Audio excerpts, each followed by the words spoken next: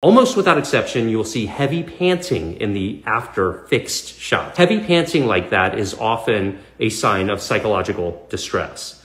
Tails in between legs, ears pinned back, avoiding eye contact with the handler, trying to get away from him, looking back to their primary guardian for assistance. These are all signs that this is not the approach. Did you get the dog to stop the behavior in the moment? Sure, but you haven't addressed the underlying issue. It's a false argument to say that well, this works quickly and this is a desperate situation because you haven't fixed anything. And what we have here is someone who has assured themselves that they have an education in dog behavior. However, he's not produced any credentials or any indication that he has the knowledge to be giving this advice to the public, and none is required to his benefit. He doesn't have to. That's where our laws are. That's kind of why there's a big uproar right now. This uproar towards Dog Daddy is centering from mainly the dog behavior community because we have particular knowledge of how those methods affect dogs long term because we deal with those dogs. Elected representatives don't necessarily understand that. And so the louder our voice gets to make this concept known to the public, the more likely it is that we can do things like get licensure for dog training. Dog trainers should be, it should be a licensed profession. You're working with animals. Those animals can bite, they can kill other animals, they can harm other people. Incredible responsibility of your advice, giving it to the public. Is, so getting is, to the underlying cause argument, we've said this a million times. One of the mm-hmm. biggest things that frustrates me about it is it assumes that. So he said, you know, used fear as an example, yeah. right? He's like, it doesn't get to the underlying cause. If the dog is just scared, that's why they're acting aggressively. So what you're saying is that it's okay that if a dog is scared that they can attack somebody. Or if they're scared, they could attack or what he just said here, kill another dog mm-hmm. because they're scared. That ain't real life, buddy. No. That ain't real life. If these dogs are going to stay alive, it doesn't matter if they're scared or not. They can't do no. that. Yeah. And guess what? I don't have to not be scared to attack my neighbor yeah. or not be scared to not go rob a bank or not be scared to do A, B, C, or D. We as humans are able to comprehend, even though I'm scared right now, my behavior has limits because there's consequences for those types of things.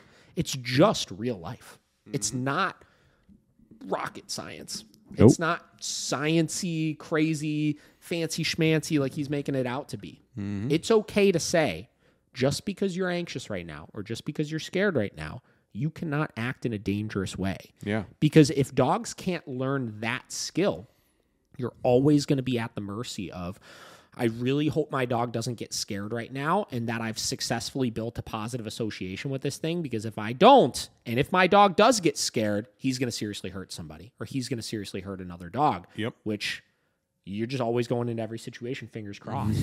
yeah. What kind of life is that? Like at that point, Terrible. you got to just put the dogs down. I mean, that's yep. not that's not safe. That is less safe mm-hmm. than saying we've successfully taught a boundary regardless of the dog's emotional state of mind. And we're going to work to try to shift the emotional state of mind. Mm-hmm. But regardless of how far that gets, they still can't act aggressively or dangerously. Exactly required there. You've seen some disturbing videos that I posted of Augusto. We've got video of him putting dogs in crates, poking them with sticks. We have him uh, yanking and cranking dogs to teach them come when called. He's not the only one that trains this way. I don't want to make that point.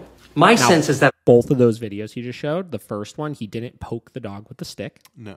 The the dog the stick never touched the dog. The dog touched the stick. Mm-hmm. And in the second video, the dog was yanking and cranking away from him, just holding the leash. Yep.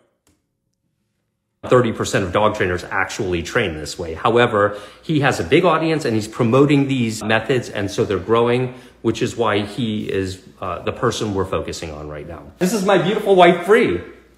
She's our partner. She's been amazing. This is Veronica. In psychology, we accept currently the when i say we i'm talking about the broader behavior scientific community that all animals are governed by the same laws of learning there's not a different set of learning laws for dogs than there are for people or birds or insects they literally are all governed by the same rules of behavior. We have found that reinforcement, that management, that de-escalating problematic situations has yielded exponentially better results. And the, the former is problematic for the reasons that I've, I've listed earlier. He was talking about as far as punishing being reinforcer to you, the person. So Because you're another animal who's also learning. That was the point of me pointing out learning laws are applying to us, yes, just like all the other species. That's true. The methods implemented by Augusto de Oliveira, known as the dog daddy, what he's doing is not difficult. It's very easy to swing a dog around by the neck. It's generally, dog trainers look at dog training in a, one of a couple of ways, either a dog centered or a human centered way. We tend to really focus the dog's emotional well being so that they're a well adjusted family member, member and not just view them as some subservient being that needs to do everything we say and shouldn't do anything we don't say. We want dogs to feel free to express natural instincts to do things that come natural to them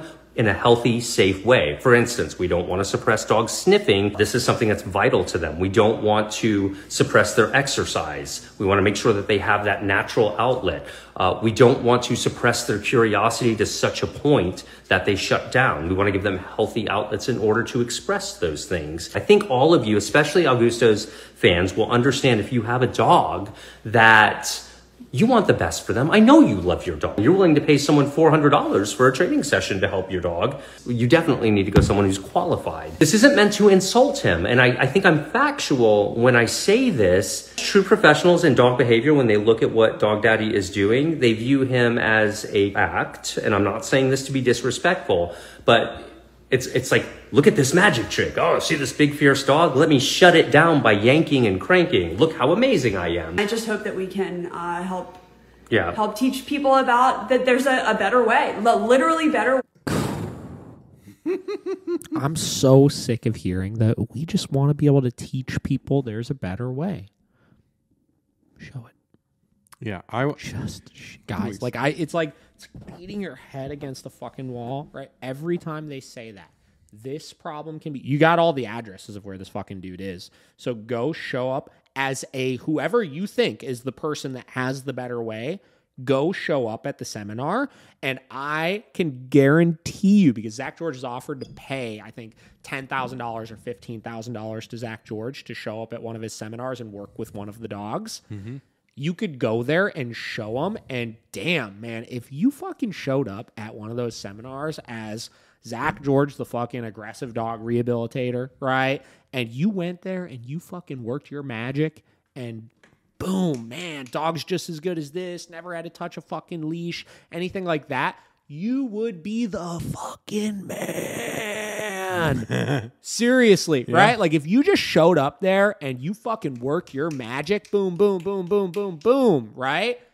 You would be the man. yeah You would be the fucking man. yeah. Imagine him like this dog, you know, Bro, For example, this Giant Akita, Yeah, right? giant Akita. Wrapping around you, trying to fucking bite your leg and shit. Yeah, Show us you fucking handling this dog. Yeah, let's Come see on. that- let's see that positive Let's only. see it, right? And and again, like I've said it a million times, you'd monopolize this shit. Every one of his fucking followers that are at that thing would be like, well, shit, I don't want Augusto to fucking, you know, correct my dog and get all firm with them. If I just watched what this guy did. yeah, But instead, you got to tear down the tallest building. You said Augusto's the biggest guy in the game right now. So since we don't like his methods, we need to destroy him so people stop seeing it and and accidentally see his results as as good.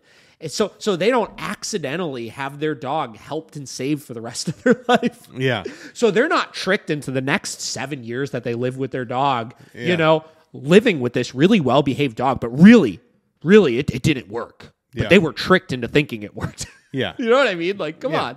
so Well, stupid. yeah, and it's like, yeah, the, It's actually it's it's like it's la- it's laughable actually when you break it down in Yeah. these ways. yeah. Well, and and like everything I've ever seen that we've watched of Zak George, it's always like, like the yeah, a puppy or a beagle or like some mini something.